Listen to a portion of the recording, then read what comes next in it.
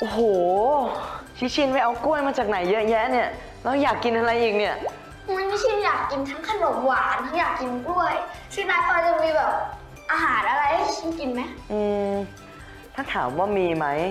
ก็มีนะ แต่มันก็ต้องออกไปซื้อวัตถุดิบอีกอะจะไปเหรอ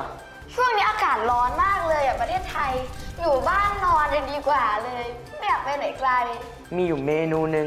ที่ไม่จำเป็นต้องออกไปซื้อก็ได้ แต่ถ้าไปซื้อก็ดี ไปซื้อร้านเบเกอรี่ในหมู่บ้าน แต่เท่าจริง ๆ มันก็ไม่ได้ทำยากเลย จะทำไหมล่ะ ได้ทำสิ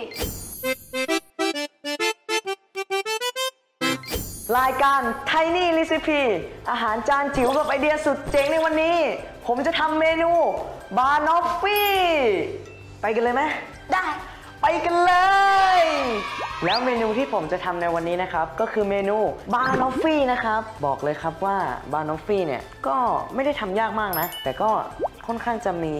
หลากหลายขั้นตอนอยู่ แต่อย่างที่ผมบอกนะครับว่าซีซั่นนี้เนี่ยไม่ได้มีการทำอาหารอย่างเดียว แต่มีกิจกรรมสนุกๆให้เล่นด้วยนะครับ งั้นเราเริ่มทำขั้นตอนแรกกันเลย ขั้นตอนแรกนะครับ คือการเอา Oreo แยกครีมออกแล้วก็บดรวมกันเลยครับ น้องชิชินแยกครีมเลย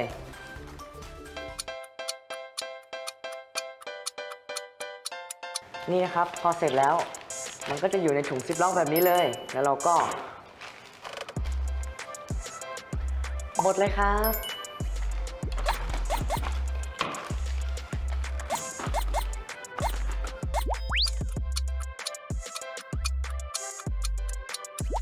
พอได้แล้วหน้าตาก็จะเป็นประมาณนี้เลยครับ เสร็จแล้วก็เราจะใส่ลงในแก้วเลยครับ โอเคครับ ขั้นตอนต่อมาเลยนะครับ พอเราบดโอริโอแล้วก็ใส่ลงไปได้แล้วนะครับ เราก็จะปอกกล้วยหอมกันครับจำนวนกล้วยหอมนี่ก็แล้วแต่จะกินเลยนะครับ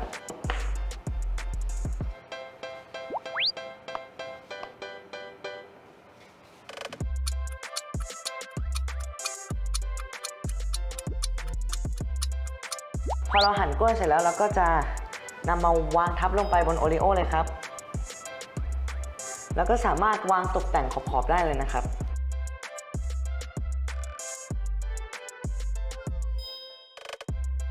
ถ้าเกิดเราได้ประมาณนี้แล้วนะครับ ก็ตกแต่งตามชอบแล้วก็ตามสวยงามเลยครับ ถ้าใครอยากกินกล้วยเยอะๆก็แต่งให้มันขึ้นมาข้างบนปูนๆเลยครับ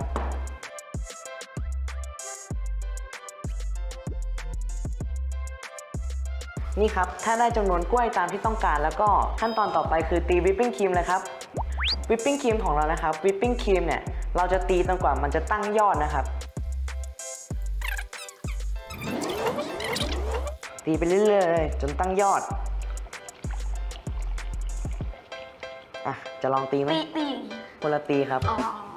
ระหว่างน้องกำลังตีครีมนะครับ เทคาราเมลลงไปเลยนะครับ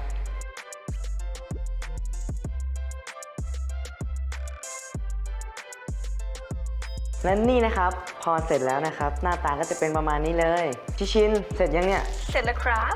นี่นะครับ พอเนื้อครีมตั้งยอดเราก็จะเป็นประมาณนี้เลยนะครับ พอเราตีเสร็จแล้วนะครับ เราก็จะเอาวิปครีมเนี่ยตักลงไปในถ้วยของบานอฟฟี่เราเลยนะครับ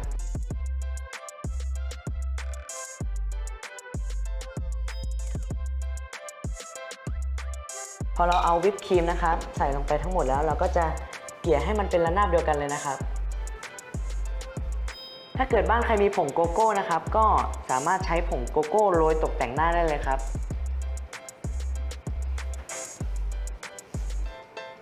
หน้าตาก็จะออกมาเป็นแบบนี้เลยครับบานอฟฟี่ของเรา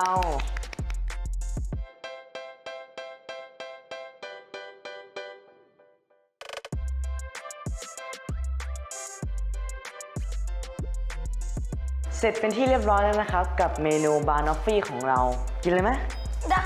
เรามาลองมาชิมกัน อ้ามอ้ามอะอร่อยเปล่า อร่อย เมนูนี้นะครับ เป็นเมนูที่